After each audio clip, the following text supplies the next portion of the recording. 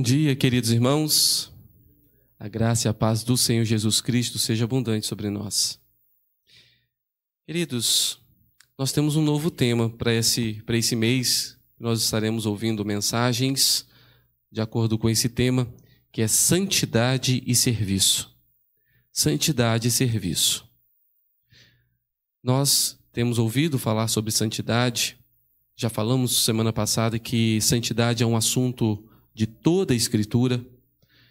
Mesmo antes da queda, já havia a necessidade da santidade. E nós continuamos falando sobre esse assunto que é importantíssimo para a nossa vida. Agora, deixa eu perguntar uma coisa para você. Desde de, já estamos na, já viramos a metade do ano, né? Já estamos aí no primeiro domingo da, do segundo semestre do ano.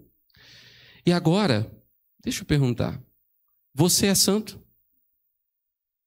Pode levantar a sua mão. Você é santo? Alguns estão levantando meio, levantando meio timidamente. Eu não sei se está com vergonha de levantar ou se ainda tem dúvida se é santo. Eu não sei. Nós somos santos, queridos. Com firmeza. Que você é santo. Você é santo em Cristo. Senão nós não conseguimos andar em santificação. É porque nós somos santos em Cristo que nós temos esse dever de andar em santificação e conseguimos viver em santificação. Porque sem a regeneração no nosso coração, sem Cristo nos ter feito santos nele, nós não conseguimos andar. Aí nós tínhamos a, a velha vida, aquela que o pecado é a, a forma natural de viver.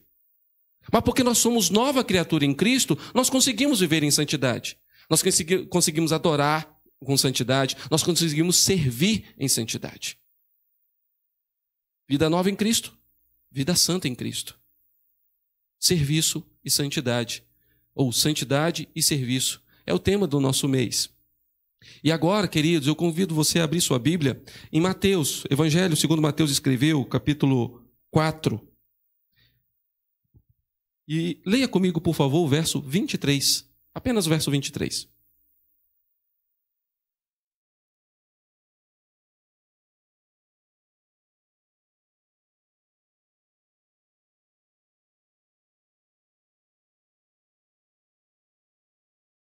Mateus 4, verso 23. Vamos ler? Diz assim a palavra do Senhor. Percorria Jesus toda a Galileia, ensinando nas sinagogas, pregando o evangelho do reino e curando toda sorte de doenças e enfermidades entre o povo. O Senhor Jesus está aqui no seu início do ministério. Ah, ele foi ser batizado por João Batista. E isso era um sinal daquilo que a lei tinha que ser cumprida, por causa do, do sacerdócio do Senhor Jesus Cristo.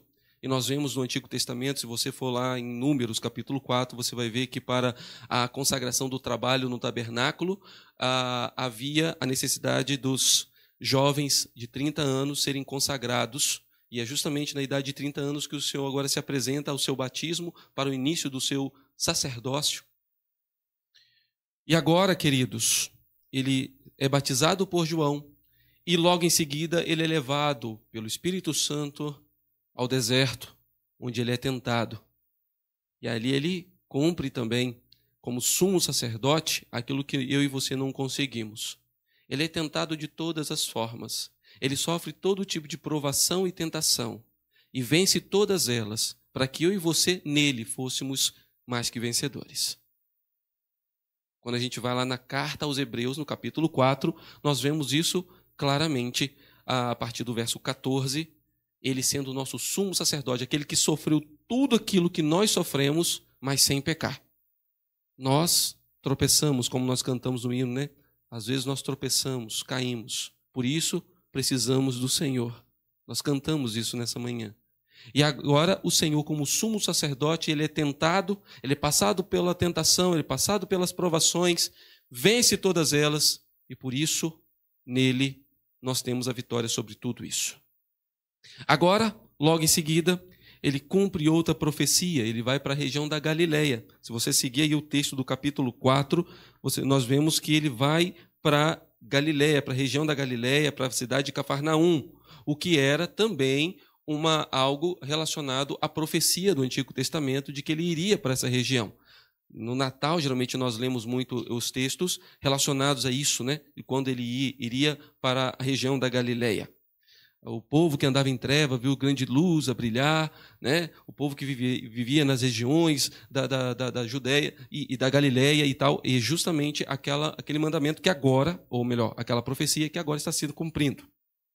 E logo em seguida, Jesus começa a mostrar o seu ensino com poder e autoridade.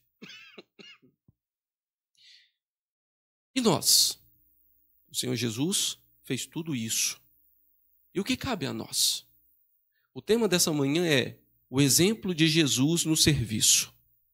O exemplo de Jesus no serviço. Eu estava pensando nesse título e às vezes nós ouvimos algumas coisas meio fora do seu contexto. Quando nós perguntamos para para as pessoas quem é Jesus, geralmente essa palavra aparece muito. Só que quando a gente vai investigar e ouvir a pessoa, a gente percebe que Jesus é um exemplo de moralidade para essa pessoa. Ah, Jesus é um exemplo. É, ele fez coisas boas, ele cuidou de pessoas, ele falou do evangelho, ele, ele. Tudo bem, está falando do que Jesus realmente fez, e ele é um exemplo. Mas muitas vezes nós olhamos mais no, no, âmbito da moralidade, das coisas boas que Jesus fez e tudo mais, o que realmente aconteceu. Mas será que é só isso? Eu fazer coisas boas para Jesus se agradar de mim? Nós temos essa visão errada. E por mais que a gente fale, como nós afirmamos agora de manhã, que somos santos em Cristo, a gente ainda mantém aquela velha ideia de que a gente tem que fazer alguma coisa para Jesus se agradar de nós que a gente tem que fazer alguma coisa para poder sermos salvos. Não temos. O Senhor nos amou sendo nós ainda pecadores. O Senhor nos chamou e nos transportou do império das trevas para o, império, para o reino do Filho do seu amor por graça e misericórdia. Não foi porque achou coisa boa em nós. Agora é certo que o nosso serviço, aquilo que nós fazemos no nosso dia a dia, agora reflete essa nova vida em Cristo. Agora já não é mais natural o pecado para nós, porque nós fomos livres do poder e da, e da condenação do pecado, ainda que vivamos sob a presença do pecado e por isso nós pecamos. Agora, o natural é seguirmos e buscarmos uma vida de santificação, servindo ao Senhor com todo zelo, com todo amor, com tremor e temor, porque o Senhor verdadeiramente agora é o nosso Senhor e Salvador. Por isso, queridos, o exemplo do Senhor Jesus no serviço não é simplesmente um exemplo de como eu devo fazer para como uma obrigação, mas é como eu devo fazer por gratidão. Porque a minha nova vida em Cristo me leva a fazer isso. Me leva a trabalhar para ele com alegria.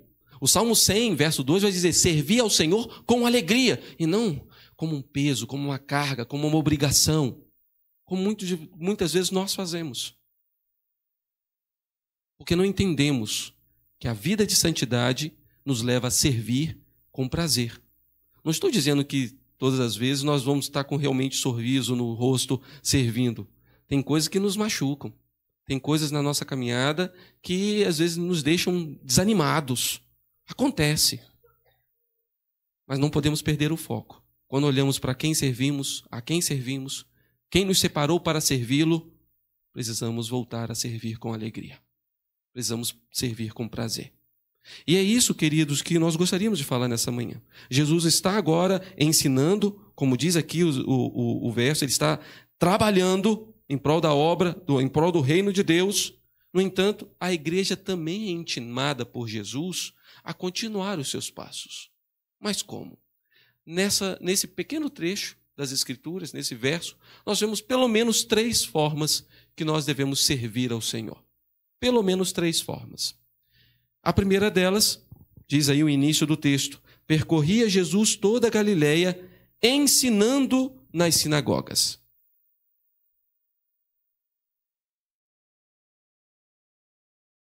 Ensinando nas sinagogas. O ensino, queridos, ouvia, envolvia a comunicação do propósito e a natureza do reino de Deus. É isso que o Senhor Jesus ensinava.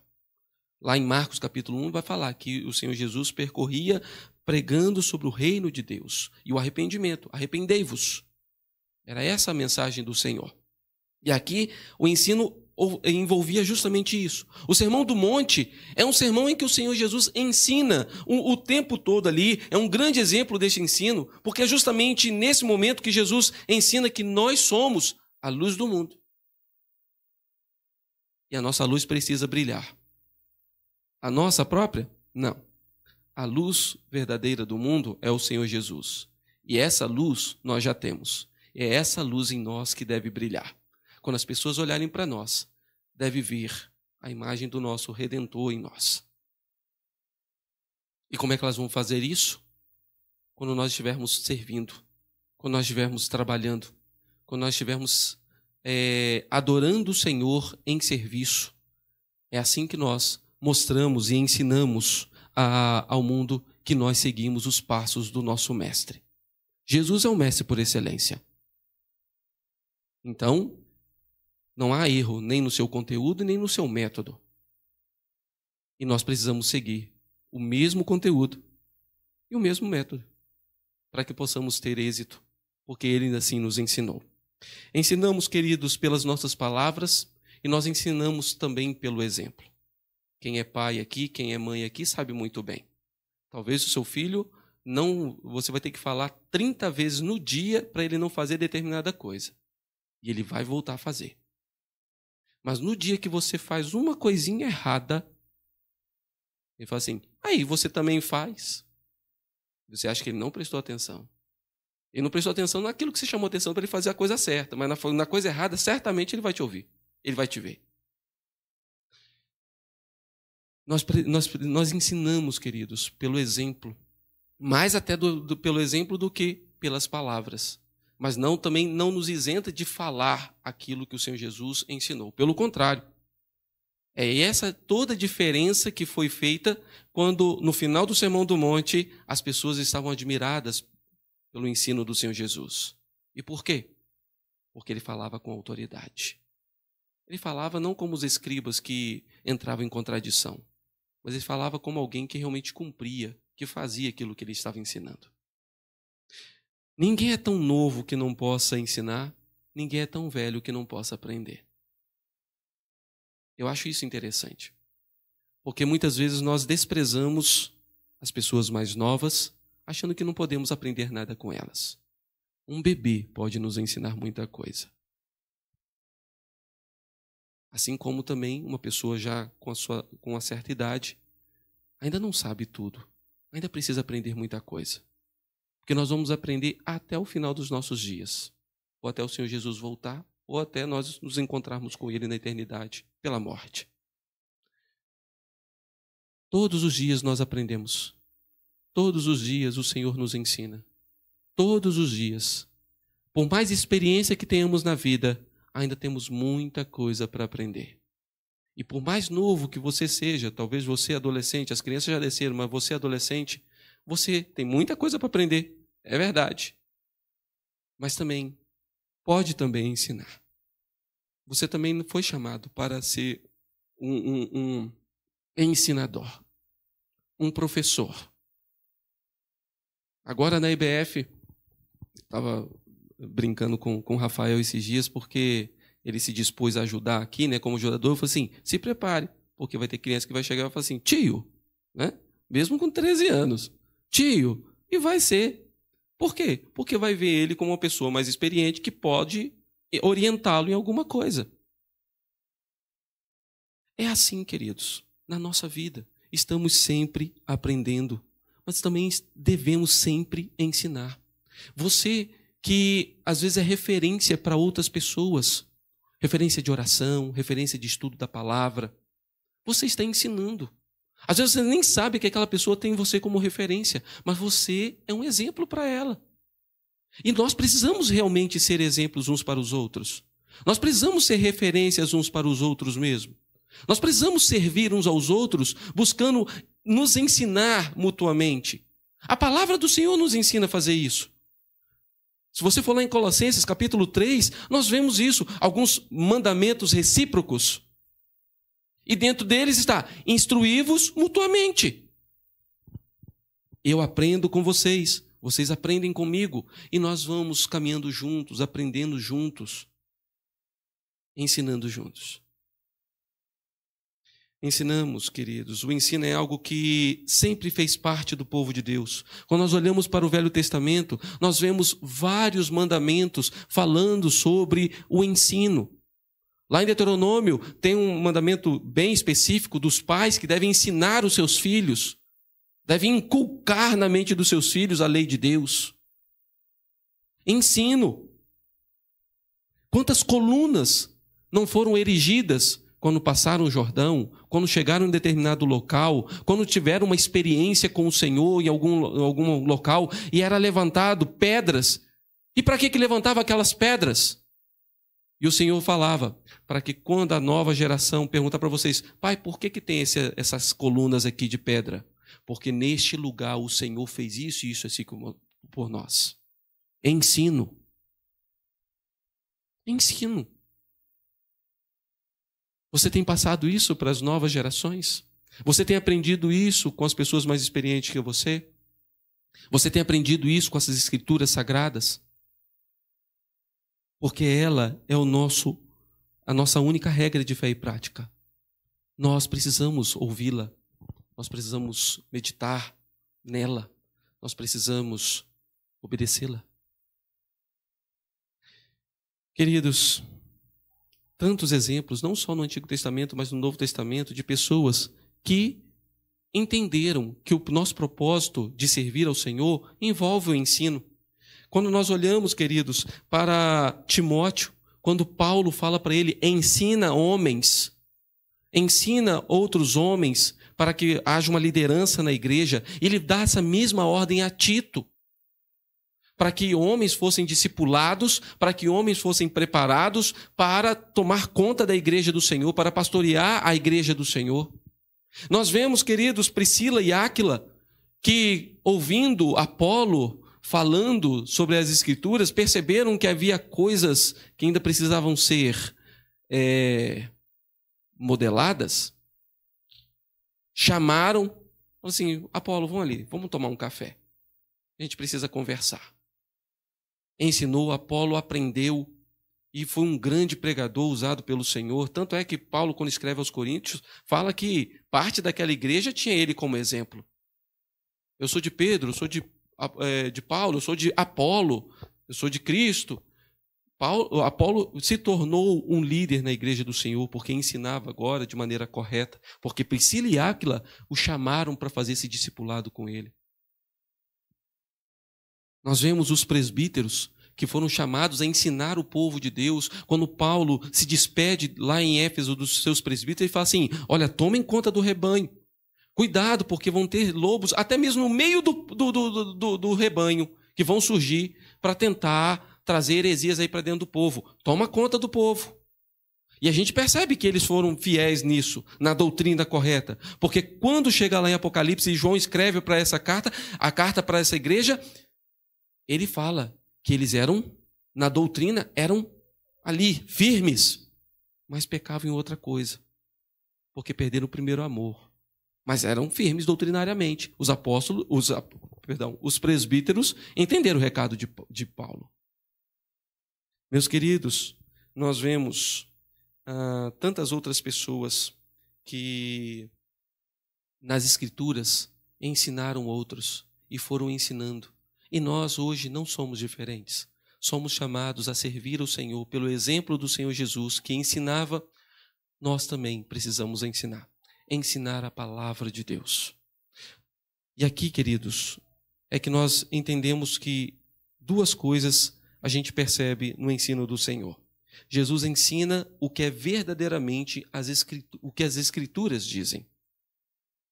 Jesus ensina o que verdadeiramente as escrituras ensinam. Esse é o conteúdo do ensino do Senhor Jesus. É necessário conhecer a palavra para ensinarmos a palavra. Alguns aqui já devem ter ouvido que está na Bíblia que faça a sua parte que eu te ajudarei. Né? Você aprendeu isso, não aprendeu? Agora pergunta para a pessoa que te ensinou isso se, o que, se está lá mesmo. Qual a referência disso? Não vai achar. Porque ela aprendeu de uma maneira errada. Ainda que está meio certo, mas meia, meio certo é, é também é meio errado. E meio certo já se torna tudo errado. Aprender meio certo já é tudo errado. Então, nós precisamos aprender para ensinar. O que nós vemos muitas vezes é termos essa preguiça de aprendermos para ensinar. E aí nós queremos terceirizar. Hoje está tudo se terceirizando, né? Então a gente quer terceirizar também o ensino. Aí eu falo com você, principalmente pai e mãe. É você quem tem a responsabilidade de ensinar seu filho. Nós aqui, pastores, professores de escola dominical uh, e outros, outros irmãos e irmãs, nós podemos ajudar e estamos aqui para ajudar porque trabalhamos e servimos ao Senhor ensinando. Mas a responsabilidade é sua. Não terceirize isso para outros. Não terceirize isso para outros. Você, discipulador, discipuladora, você precisa conhecer a palavra do Senhor para não passar nenhum ensinamento errado. Então, com diligência, leia a palavra, medite na palavra e ensine o conteúdo verdadeiro da palavra. Se houver dúvidas, e nós temos, nós não temos resposta para tudo. Ontem nós fomos visitar um casal aqui da igreja e foi feita uma pergunta que eu não tinha resposta. Nós, às vezes, não temos a resposta adequada. Mas se, às vezes temos, podemos ter, então procure para saber se há uma resposta para aquela pergunta e ensine de maneira adequada. Você que está fazendo o seu discipulado, está sendo discipulado, procure Procure aprender para que você também se torne um discipulador. Porque nós precisamos fazer isso. Precisamos servir ao Senhor através do ensino. E a segunda, segunda coisa é o método. O Senhor Jesus ensinava verdadeiramente as Escrituras. E ele ensinava como? Ensinava como quem tem autoridade, porque realmente ele tem toda a autoridade. E por que, que ele tinha toda a autoridade? Porque ele ensinava e ele fazia ele cumpria. Certamente, queridos, nós vamos errar no nosso caminho. Nós não somos, ah, nós não somos é, como o Senhor Jesus sem pecado. Pelo contrário, nós falhamos muitas vezes. Mas isso não nos isenta de pregar ou de ensinar com autoridade. Porque a autoridade que nós falamos, que nós ensinamos, não vem de nós mesmos, vem da palavra do Senhor. Se alguém nos questionar realmente, e, pode, e pode, podemos ser questionados e podemos realmente estar errados, mas lembre-se que a autoridade que você ensina não vem de você, é da palavra do Senhor. Se alguém não quiser seguir o nosso ensino por causa de nós, ele ainda não entendeu que a autoridade é da palavra e essa é infalível, essa não erra. Então, meus queridos, devemos ensinar com autoridade. Não porque eu sou autoridade, mas porque aquilo que eu ensino, a palavra de Deus, que é perfeita, é viva e eficaz, ela é a verdadeira autoridade. Ela é a autoridade. E nós, como igreja, precisamos ensinar, precisamos servir ao Senhor. A igreja serve ao Senhor Jesus quando ensina fielmente as Escrituras, sabendo que é ela que é a autoridade e nela nós estamos assegurados, somente nela. Isso faz parte do nosso discipulado. Você que está discipulando, você que está sendo discipulado, lembre-se disso. Segunda maneira que nós servimos ao Senhor, que o texto aqui nos diz, ensinando nas sinagogas, pregando o evangelho do reino pregando o evangelho do reino. Mas pregação e ensino não é a mesma coisa. Realmente, na pregação há ensino e no ensino há pregação. Mas aqui nós estamos falando sobre questão métodos, né? Digamos assim, a pregação às vezes eu estou aqui nesse momento pregando e talvez alguém que esteja aqui nessa manhã nos visitando, talvez não não não apareça mais aqui, mude de para outro lugar e não nos ouça mais. Mas o evangelho aqui já foi pregado. A palavra aqui foi pregada. Agora, o ensino ele envolve caminhar juntos. Não é uma coisa de uma, uma aula só. É algo que nós vamos estar, estar sempre constantemente andando juntos. É por isso que há essa diferença. Claro que no, na pregação há ensino e no ensino há pregação, mas são métodos diferentes porque a pregação é mais direta, pontual. E, a, e o ensino ele é constante. Você vai andar, caminhar junto com essa pessoa. Muitas pessoas, quando o Senhor Jesus pregou no Sermão do Monte, muitos continuaram a segui-lo. Outros, dali para frente, talvez não seguiram mais. Nós vemos isso lá em João capítulo 6, quando o Senhor Jesus fala que Ele é o pão da vida, que quem não comer da carne dele, quem não beber do seu sangue não tem parte nele. Alguns acharam aquilo muito duro e, ó, debandaram. Mas alguns continuaram firmes seguindo. Aqueles ouviram o evangelho, rejeitaram, mas ouviram. Para outros, o ensino continuou o ensino foi constante. Então, Jesus pregava com autoridade as boas novas do reino. Essa expressão, ela aparece 32 vezes. E o reino de Deus, ou o reino dos céus, significa o governo de Deus. O governo de Deus. Assim, nós, nós vemos a, o cumprimento daquilo que o Velho Testamento também nos dizia sobre a restauração quando o Messias viesse o Messias veio e agora estava estabelecido o reino de Deus. E agora, como novo Israel de Deus, nós temos a responsabilidade de continuar a obra da pregação. Talvez você me pergunte assim, mas pastor, eu não sei pregar. Eu nunca fiz um curso de homilética, de exegese. Como é que eu vou fazer um negócio desse? Queridos, a, o, o, a ordem de pregar é para todos. Marcos 16, 15, dizendo: Ide por todo o mundo e pregai o evangelho a toda criatura, não foi apenas para os mais próximos, para os doze. Foi para toda a igreja, para todos que estavam ali presentes, para todos que viessem posteriormente. Pedro obedece essa ordem logo depois da ascensão de Jesus, pregando o seu discurso, onde houve muitas pessoas ali sendo é, transformadas e batizadas. E a igreja também obedeceu. Havia uma ordem de que a igreja se espalhasse, ou a, ou a palavra do Senhor se espalhasse até os confins da terra. Mas a igreja resolveu achar que estava muito cômodo, como tinha acontecido também lá na Torre de Babel.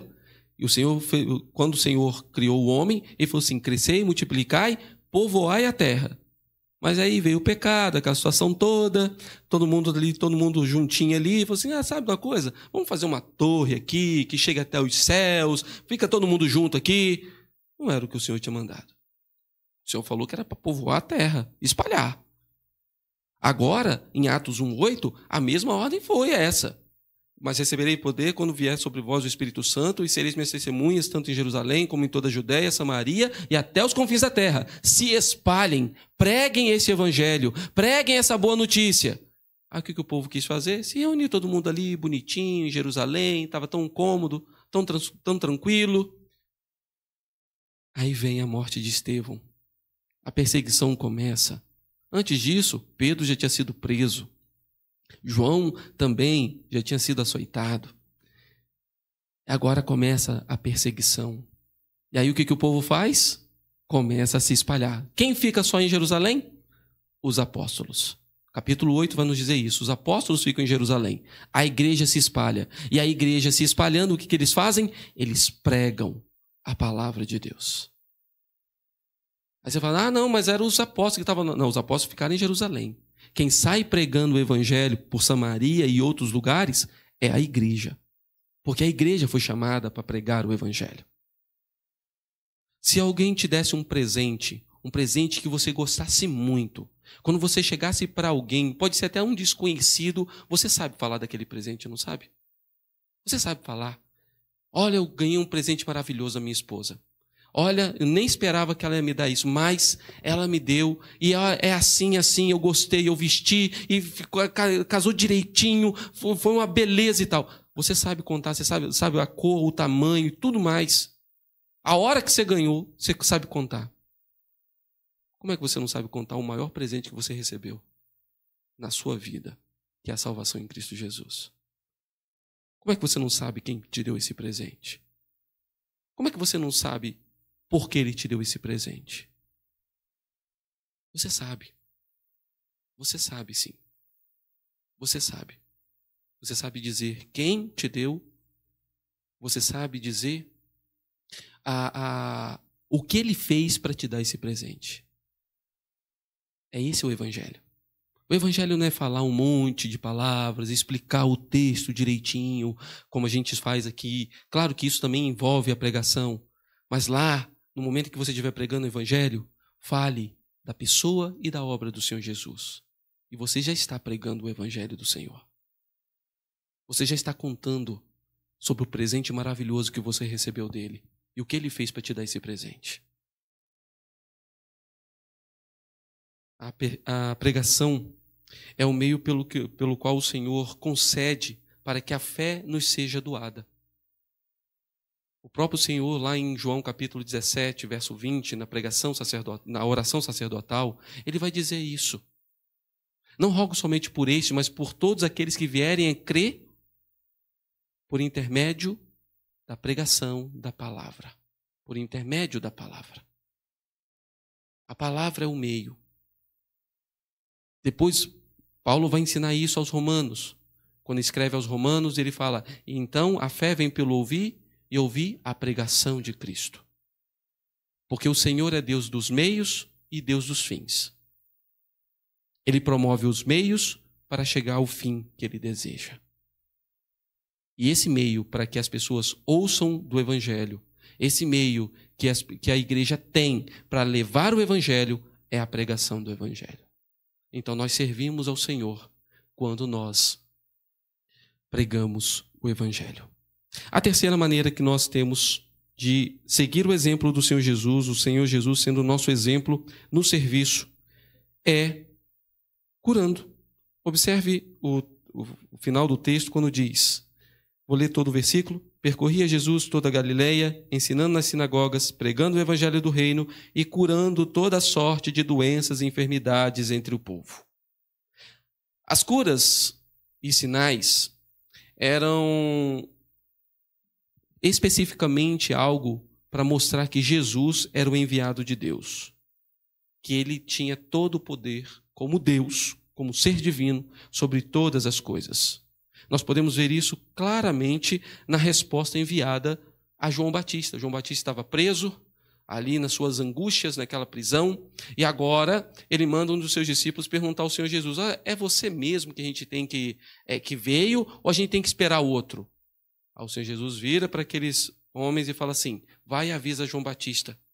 Os coxos estão andando, os cegos estão vendo, os mudos estão falando, mortos estão ressuscitando, e o evangelho está sendo pregado aos pobres. Ele volta e dá essa resposta. João entendeu o recado.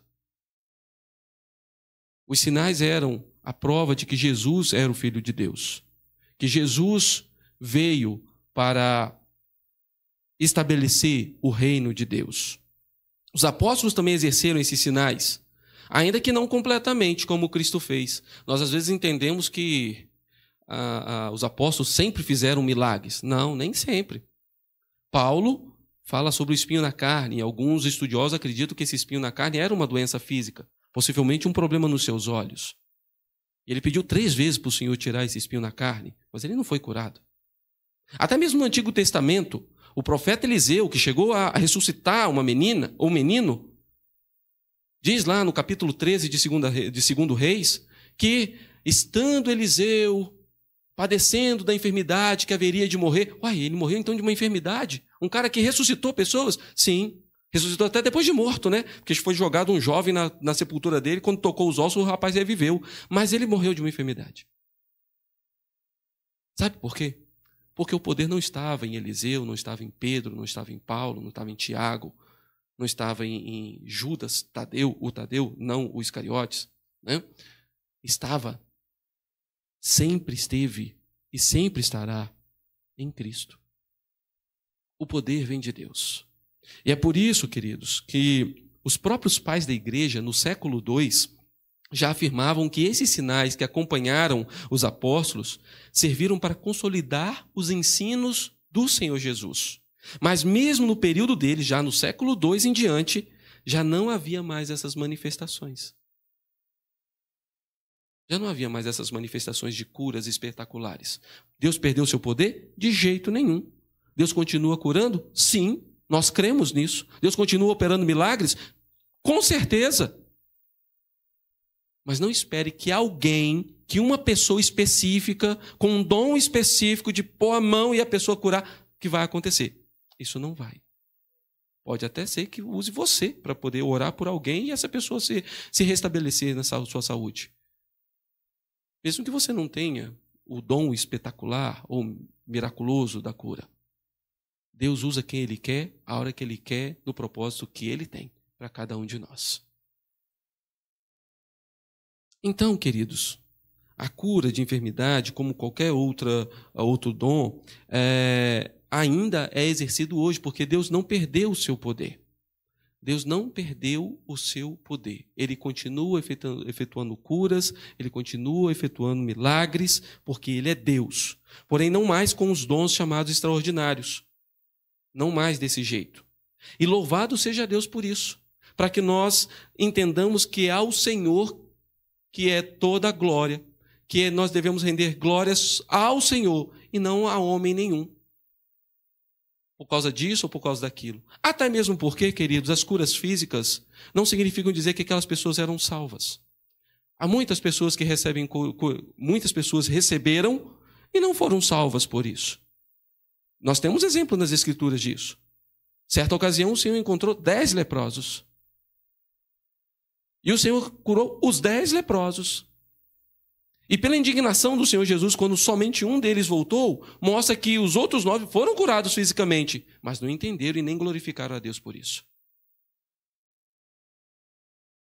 Não significa dizer que porque uma pessoa recebeu uma cura física, agora ela também tem a cura espiritual. Não significa dizer isso.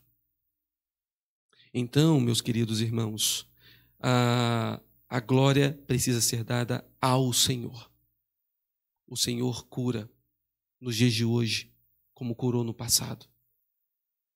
Mas cuidado, cuidado com promessas de homens nos dias de hoje que não fazem sentido nenhum.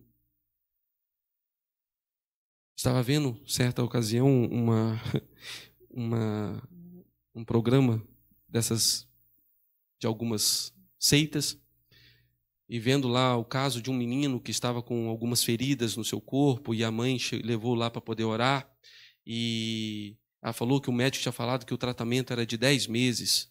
E aí a pessoa ali, o líder daquela igreja ou daquela seita, falou assim: "Não, nós vamos orar agora e essa criança vai ser restabelecida". E pelo jeito era um vídeo e eu fiquei observando aquilo para ver até onde aquilo ia chegar. E aí daqui a pouco passou assim a legenda. Alguns meses depois, aí a criança estava totalmente recuperada. Eu falei assim, uai, alguns meses depois pode ter sido o tratamento que ela fez com o, o médico e não especificamente a oração. Mas às vezes nós somos enganados por essas coisas.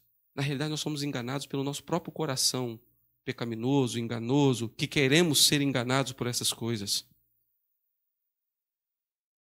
Do Senhor não se zomba. Ou você crê no Senhor ou você crê no homem. Não tem como crer nas duas pessoas ao mesmo tempo. Ou você crê que o Senhor pode fazer, ou você crê que o homem tem o poder de fazer isso. O homem não tem poder para nada. Eu não tenho poder de fazer isso. Agora, nós podemos fazer uma coisa. Então, como é que nós podemos curar se não tem mais o dom extraordinário? Nós podemos curar, queridos, orando. Tiago capítulo 5, verso 15 fala que se tiver alguém entre vós doentes, faça a oração. Nós podemos orar, porque eu não tenho poder, você não tem poder, mas Deus, o Deus que nós cremos, tem. Ou você não crê nisso? Nós podemos orar. Eu já falei isso em outra ocasião, né? Às vezes a gente fala assim: ah, o que eu posso fazer para você é só orar. Só orar, não, querido. Você está fazendo a melhor coisa que você pode fazer. Não depende de você, depende sempre, sempre e sempre dependeu de Deus. Não é só orar. É, é, tem que orar mesmo. É Ele quem vai fazer. É Ele que vai levantar os recursos para fazer. Ele, ele pode fazer imediatamente, ou ele pode fazer de maneira pela medicina mesmo, ou qualquer ou, ou outro meio, mas Ele, Ele vai fazer.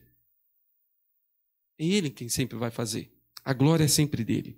Nós devemos ser ativos.